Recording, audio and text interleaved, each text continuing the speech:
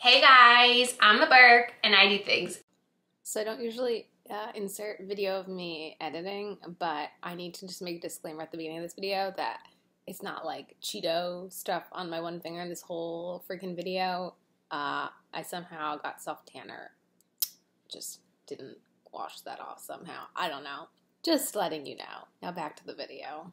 And today I have a slightly overdue video because last month got away from me and I was not able to film this. So I actually have my May and June empties to share with you guys today. I have been trying to track the value of everything that I'm emptying out this year and I have like an unofficial goal of trying to get $3,000 worth of empties, which we're at the halfway mark. So you'll see at the end of, at the end of this video if we are on track to that number or not. And I have been making sure to consciously save all of the makeup empties. So at the end of the year, I will have one big video showing all the makeup I was able to finish in the year 2021. I would say that this month, I definitely was the most successful finishing hair care and skincare products. Not so much the makeup category.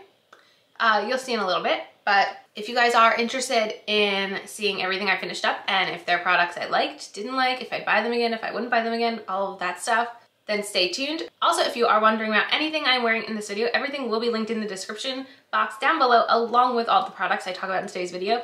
If they are links that are affiliated, they will be marked with an asterisk, meaning that if you do click on them and happen to buy a product through that link, I would make a very, very tiny commission off that link. I do thank you guys in advance for using my affiliate links. And yeah, let's just get into this month's empties video. Let's go. Okay, so the first category I will be addressing is makeup. I, you'll see, like one thing I'm pretty excited about finishing, but I'm going to start with two mascaras I have here. This first one is like a little travel size. I think I got this from Ulta for free. This is the Smashbox Superfan Fanned Out Mascara. I did uh, come out that this size retails for about $12, which is wild to me. This is a, in my opinion, a very bad mascara. I found that it really didn't do anything at all, and I just Listen, I just was not a super fan. I don't know. I just, it just wasn't for me. I'm very, very particular when it comes to mascaras and this did not even like come close to like an okay to me. This was just like flat out a really bad mascara. And I can show you what the wand looks like. It has a, a rubber bristled wand, but it just, it didn't do anything at all for my lashes. So this was just a really big no for me. A mascara I just finished that I really, really like I got them really overly hyped, I shouldn't even say overly hyped because it is really good, the Maybelline Lash Sensational Sky High. I bought the waterproof and I finished it. I use this every day and like basically scraped it clean, which I can't say I do too often. I think I started this, I forget when I started it. It was either like February or March and it's definitely used up because I used the heck out of it. This mascara retails for $11.49. You can usually find Maybelline on sale. I did repurchase, but I repurchased the non-waterproof. Typically, I really only like either a tubing mascara or a waterproof mascara because just I can't deal with the mess. But I've heard people say they like the regular better than the waterproof. So I'm trusting everyone and I ordered the regular. So that is a spoiler for a video coming. But yeah, I am sad it's done. Like I really enjoyed it. I finished a mini powder that I've been trying to unofficially pan for so long now. This is from IT Cosmetics and this is their Bye Bye Pores Illumination Poreless Finish Airbrush Pressed Powder. This I think I got as a free sample from Ulta, but it honestly was a really decent sized pan. I feel like it was like almost the size of like a more traditional blush. Like a like a blush pan. I don't know. There was a lot of product in here, that is for sure. I came up with this amount retailed for about $7.74. It was okay. Uh, it didn't make me want to go out and buy the full size of it. It was cool to try, but overall, I just felt very neutral about the product. And I have tons of powders in my collection right now that are gathering dust that need to have my attention rather than me going and buying this. Also, I've been trying this new coffee drink. Let's see. It's a Starbucks drink. I got it from Amazon. It's vanilla zero sugar black coffee. It's not bad, but it's a little sweeter than I prefer because like I am a black coffee drinker, but I like like a flavor to my black coffee. But it's a little sweeter than I like. So I like it, but it's just, it's not like an, a favorite, but I feel like if you were someone who liked a sweet coffee without sugar, that this would be a really good option. Okay, Next is something else I've already purchased, repurchased I should say. This is from Maybelline and this is their Brow Ultra Slim Brow Pencil. I have this in the shade, I think deep brown. It's literally worn off because I've worn, I literally got this the same time I got the Maybelline mascara and I use the heck out of it. This retails for $7.99 and I cannot emphasize enough that this is my all-time favorite brow pencil. Like I absolutely love it. I did not buy one, I bought two. Because when this ran out, I was like, oh no, so like, it's funny that I talk about this because like today with my mascara, I like did two mascaras together to try to get the look I like. And even today with my brow pencils, I had to use two brow pencils to like kind of mix and match to get a color that worked for me. So I just, I really miss this product. And I am so glad that I stocked back up on it because it is my all-time favorite. And it's $8 and usually you can get Maybelline on sale. Okay, the last Makeup Empty I'm so excited about because I said I wanted to work through my mini lip products in 2021 and this is now my second empty. This is from Urban Decay and this is their Hi-Fi Shine Ultra Cushion Lip Gloss and I have this in the shade Naked. I got this as a free sample from Ulta too long ago. It smells very, very minty. Like it's a very, very minty smelling lip gloss, but it doesn't actually like do like, I didn't, it didn't do like how a buxom you can feel like a little tingle. I just feel like it had the minty scent to like have like a thought of it being plumping, but I actually really liked this lip gloss. This size retails for $2.61, so I feel like I definitely got at least $3. I mean, I've been using this so much lately and I just felt never, ever, it felt never ending. I really like it, but I have so many lip glosses that I just, I can't, I can't justify going out and buying this Urban Decay lip gloss even though I liked it so much because I know how long it took me to use up this tiny size that I would never use the full size of the Urban Decay. And I'm sad that it's done, but like I'm also really happy that it's done, so I did it. That's two mini lip glosses this year. Is it great to be celebrating that halfway through the year that I've only finished two minis? Probably not, but I did it. Okay, the last makeup empty. Did I say the last one was the last one? Because this is really the last one whatever. This I got for free from Influenster, and this is from Joah, and this is their Selfie Ready Setting Spray, and this is their Dewy version. I actually had trouble finding this one online. I saw that the matte version retails for $7.99, which probably makes sense. It is a drugstore brand. I like Joah. I think they have really nice products. And I liked this, but it wasn't really anything unique, I guess, in my collection. Like I have so many dewy setting sprays. Like I didn't feel like this was something I now need to go out and repurchase. Like it was cool to try it and I don't have any issues with it at all. Like I feel like it performs as it should, but I just, it's not a product I need right now. So those were the makeup empties. The total value of all those products for this month came to $49.82, bringing my annual makeup empty total to $360.96. The next category on my spreadsheet is lip balms. And I actually finished one this month. I haven't actually finished a lip balm since my January, February update, but I do have a product I want to talk about in this video. It's not an empty, but I'll explain in a second. This is the Laneige Lip Glowy Balm. I have this in the berry scent. I must have bought this towards the end of 2019, and this used to sit at my desk at work. And then a pandemic happened, and it continued to sit on my desk at work. And if you're not familiar, I did wind up leaving my job and I didn't go back into the, to the office to clean out my stuff until literally the end of May. So this sat on my desk at work for over a year. So I don't want to open it. I'm not planning on using it. I would like to tell you overall, I didn't like it. I actually found this very uncomfortable. I found it very sticky, tacky, and I was very upset because of how much I love the Laneige lip sleeping mask. So this was just like a big flop for me and I just wanted to be able to review it here for you guys. But this is not being counted in my spreadsheet. I just wanted to say before I throw it out that I do not like this. Now, the lip balm I did finish is very bittersweet. It's from Becca and it's their plumping lip balm. Uh, this is their Hydra Light balm. I have this in the shade, I have this in the shade Mist. You can see it was like a blue. It had like a very it's not minty. It had a very specific uh, scent that I cannot identify. Uh, it was very thin, so it was very easy to put on. It wasn't something that I would consider overly moisturizing. For me, I would use this as like in the mornings when I was getting ready.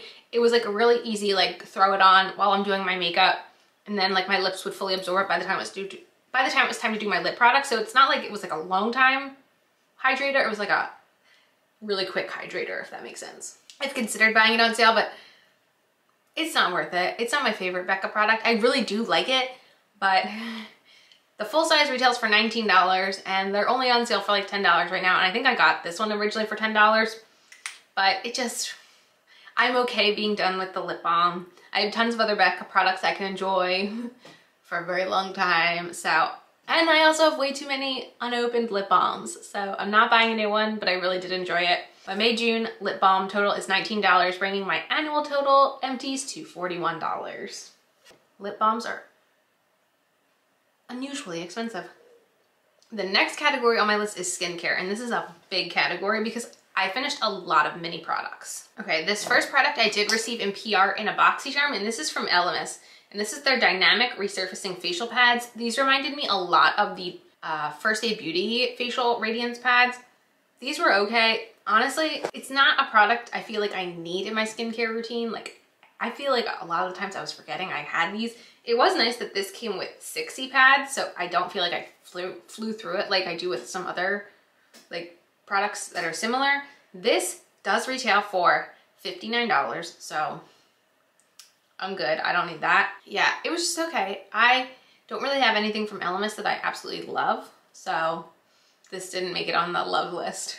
Next is a product that I have gone through now two, I think of these, and this is the Ordinary Organic cold pressed rosehip seed oil. This retails for $9.80 and I do really like this.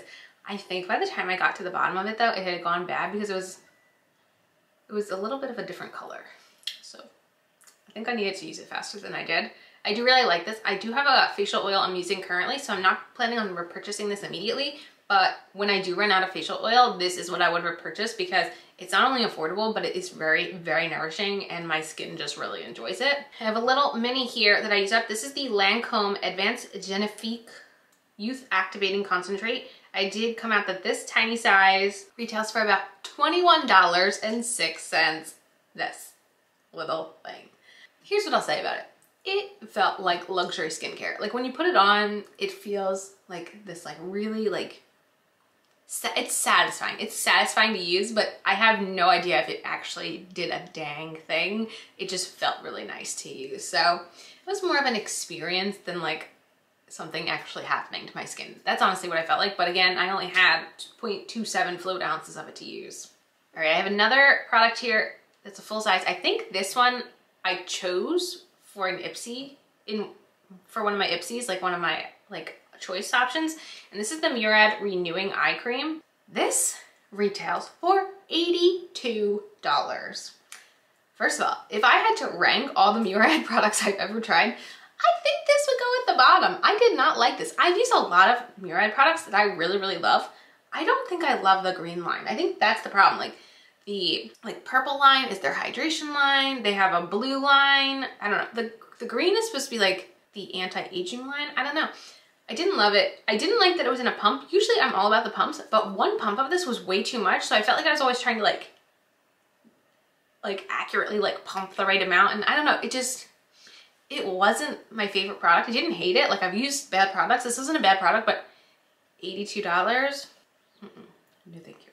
I have two mini Supergoop sunscreens. So the first one is the Super the Supergoop Glow Screen. I did get this in the spring. I bought one of the little kits from Sephora and this was in it. This is half a fluid ounce of the glow screen and this retails for $10.59. I liked this, I didn't love it. So the glow screen is very glowy, but, but it wasn't moisturizing. So I feel like some of the SPFs I've been recently using had been moisturizing SPFs, so I wasn't having to do both steps. Whereas with this, I definitely had to moisturize first. It, it, was okay. It's not a sunscreen I could wear on its own because I literally felt like I would look like the Tin Man. Whereas right now I'm using the new Bliss sunscreen and it is like the nicest facial facial sunscreen ever. I feel like I, I wear it all the time without any makeup. It just like looks nice on your skin whereas this is so glowy and I don't know, it just, if I want a sunscreen, if I'm going to get a sunscreen that actually like does something to my skin besides just put white sunscreen on my face, I'm going to want it to look good without makeup and not necessarily act as a primer for, I don't know. It just, it wasn't for me. I can understand why people like it. It just wasn't for me. Then I also, I must have gotten this as a free sample from Sephora, I guess. I also had a sample of this Unseen sunscreen. This size retails for about $6.80. I've used the Unseen Suns, why is it so hard to say Unseen sunscreen? I've used this one a bunch of times and I like it and I get why people really like it because it doesn't really give any cast, but it's like a silicone primer and that's not my ideal kind of primer. I really prefer something moisturizing. So it's not a sunscreen I personally purchase, but I understand why people really like it. It just, it doesn't do what I need it to do.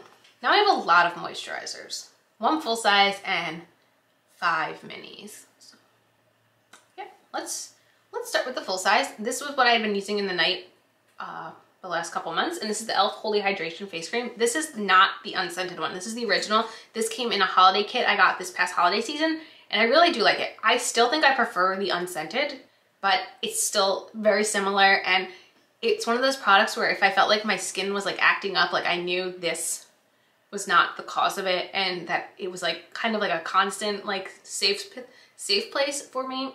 So I really do like this. I have at least one or two backups of this. Like this is this is, I would say, a holy grail to me. I think it's a really good product at a really good price, and I would love to try the new SPF one. Also realizing I didn't say the price. The e.l.f. Holy Hydration Face Cream does retail for $12. It's really a really good price. And again, e.l.f. always has sales, so can't go wrong with it.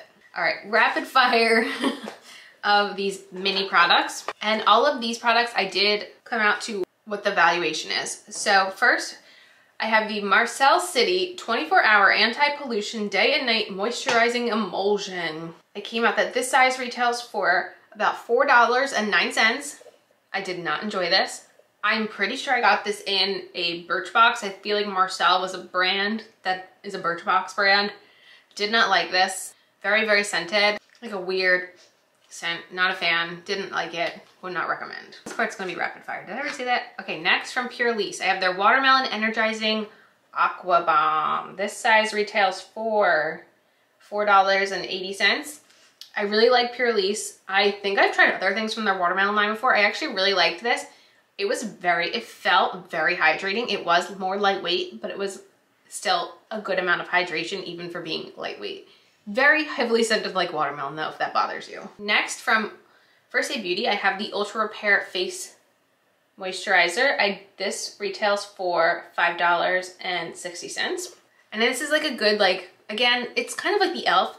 How it's just one of those products where you know like it's it's safe. It's a safe place.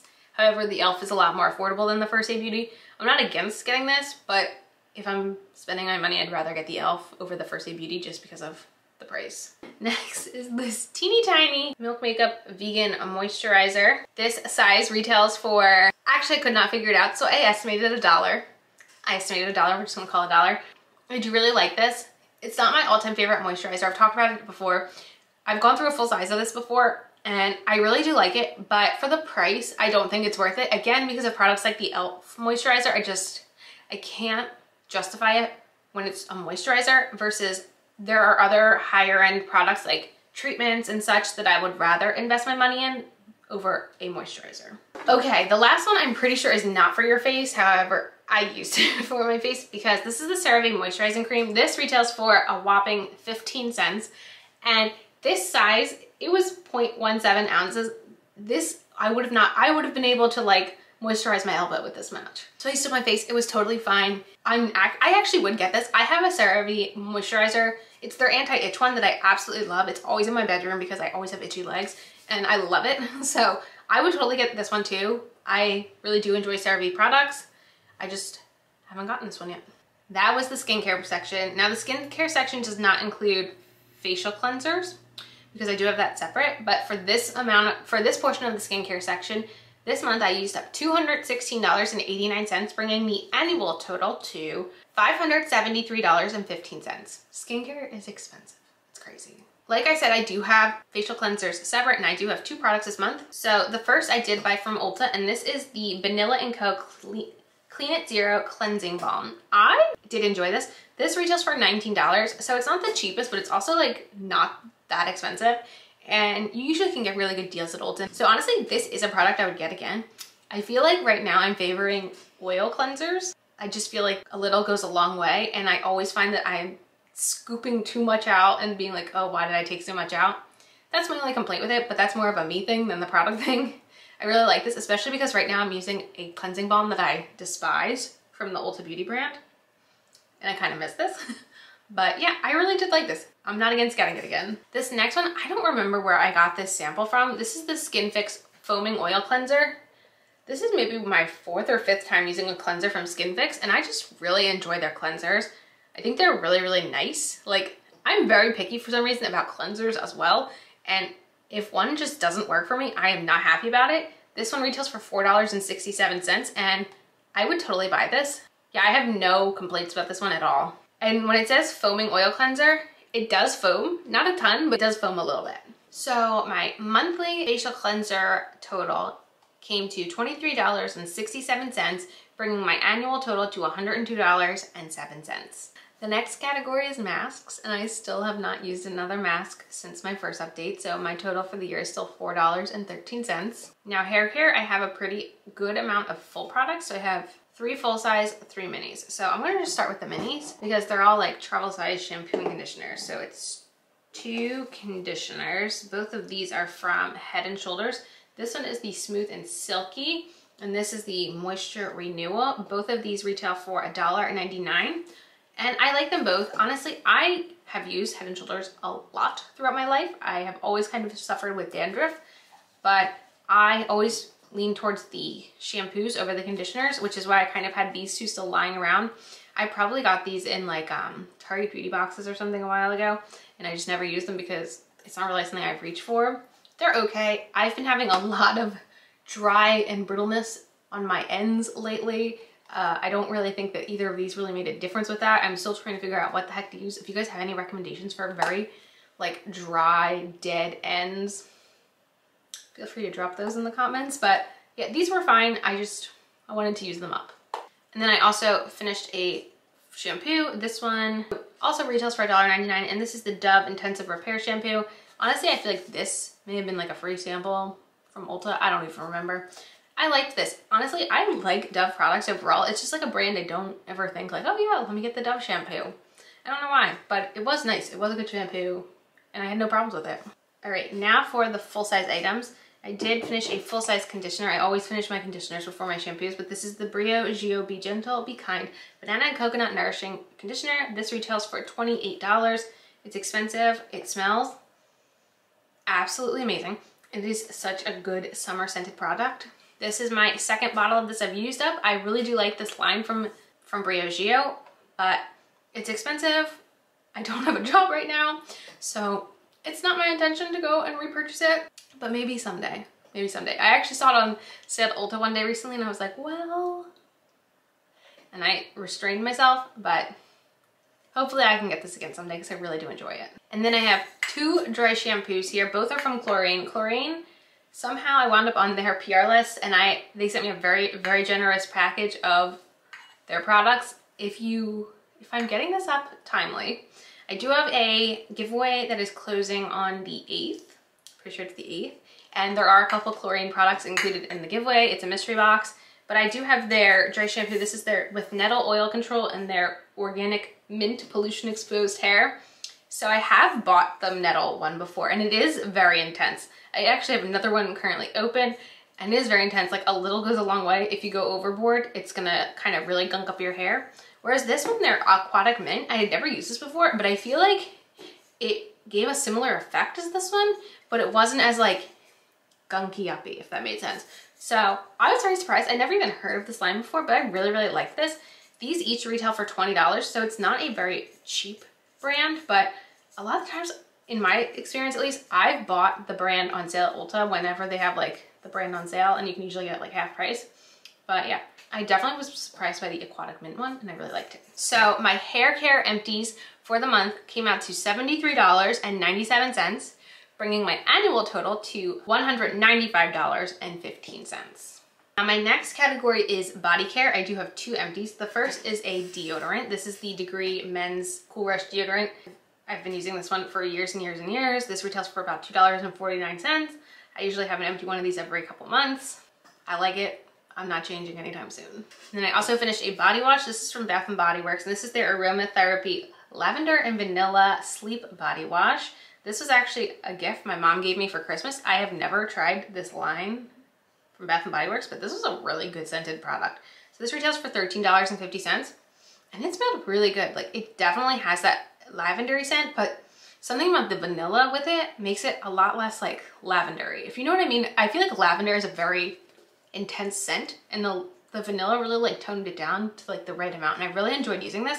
I have currently the Soul Body body wash in my shower right now that I bought and I don't like it as much. I thought I was really gonna like it, but I'm just, I'm not overly impressed. So my total empties for body care this month came out to $15.99, bringing my annual total to $48.29. Now I have teeth care. I did finish a toothpaste this month and I don't know. This is the Colgate Optic White Renewal toothpaste. This retails for $6.99. I think there was like a coupon at Target. That's why I originally bought it. I'm not that impressed. I'm using a Crest whitening one right now. It's not their like extra 3D white. It's like a different one. I don't know. I'm liking that one the best out of all the whitening toothpaste I've tried so far. I don't see myself getting this one again. So this was $6.99. So my annual total for teeth care empties has been $13.79. Next I have hand soaps. I did finish two foaming Bath & Body Works hand soaps. These both retail for $7.50. Never pay full price. So this first one was actually in mine and Scott's uh, master bathroom and this is the cucumber melon. I don't know if they, did, have they always had cucumber melon or did they bring it back? I honestly bought this because of childhood and I had the body spray when I was in elementary school. Yeah, I, I, I'm a fan, honestly. Cute, crisp, crisp cucumber, watery honeydew, and juicy cantaloupe.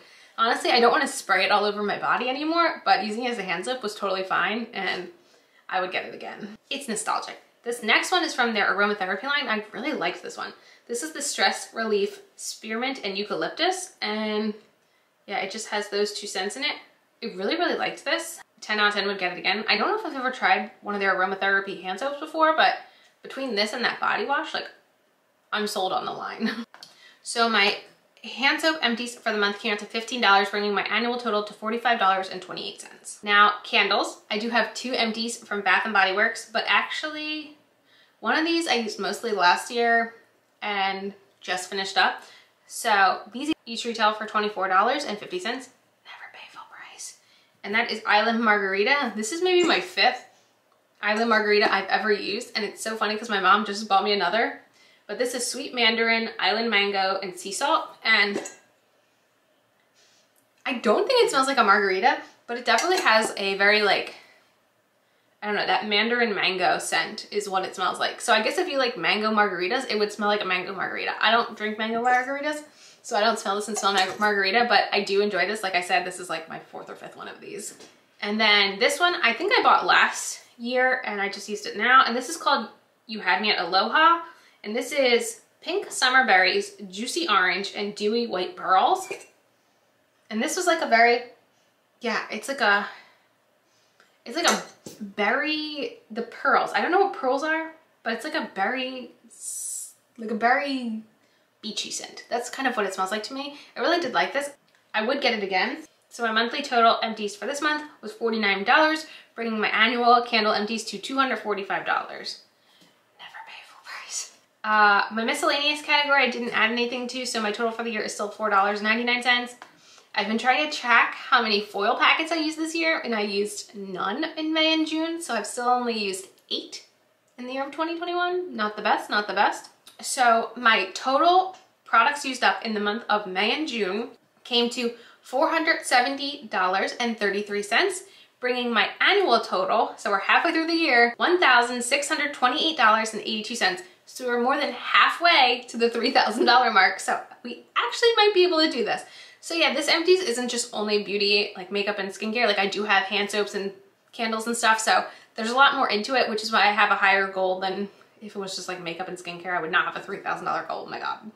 But yeah, this has been really fun. Definitely let me know in the comments what you guys think of any of these products. And if you have any recommendations for my postpartum dyeing hair, And yeah, that is it for this video. As usual, thanks for stopping by my channel. If you're new here, click the subscribe button and ring that bell for notifications. I have my Twitter and my Instagram down below. Give them a follow, and I'll see you in the next video. Bye, guys!